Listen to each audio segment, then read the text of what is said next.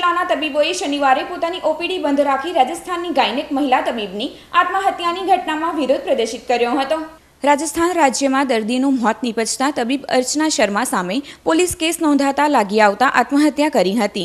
આ બનાવ અંગે ભરૂચના તબીબોએ ઉપમુખ્ય દંડક અને ભરૂચના ધારાસભ્ય દુષ્યંત પટેલને રજૂઆત કરી હતી અને આવેદનપત્ર પાઠવ્યું હતું.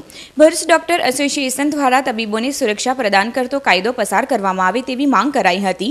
સાથે સ્થાનિક પોલીસ વિભાગ દ્વારા જવાબદાર વ્યક્તિઓના સંપર્ક નંબર આપી ઇમરજન્સીમાં ચોવીસ કલાક સેવા મળે તેવી પણ રજૂઆત કરાઈ હતી.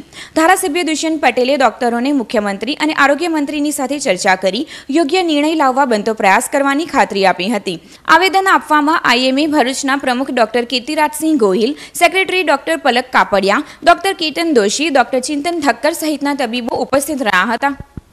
સૌ પ્રથમ ઇન્ડિયન મેડિકલ એસોસિએશન ભરૂચના ડૉક્ટર્સ વતી હું આપ સૌને સોરી કહેવા માંગીશ કે આજની સ્ટ્રાઇક હોવાથી ઘણા બધા દર્દીઓએ હાલાકી ભોગવવી પડી હશે. પણ રાજસ્થાનમાં જેમ દુષ્યંતસિંહ સાહેબે, પટેલ સાહેબ શ્રીએ જેમ જણાવ્યું છે, એમ થયેલી દુઃખદ ઘટના એ અમારો એક, એની સામેનો આ વિરોધ કમ છૂપો એક આક્રોશ છે.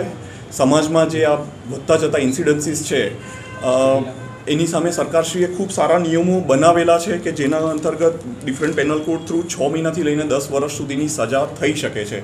સો અત્યાર સુધી અમે સંયમ રાખી ચૂક્યા છીએ, પણ હવે અમે એક રિક્વેસ્ટ કરીએ છીએ કે ડૉક્ટર અને પેશન્ટ વચ્ચેનો સંબંધ એક પવિત્ર સંબંધ છે, તો એની ગરિમા જાળવીએ. અને આવા ઇન્સિડન્સીસ ક્યારેય પણ કોઈ પણ ડૉક્ટર ક્યારેય કોઈ દર્દીનું અહિત ઈચ્છતા નથી હોતા.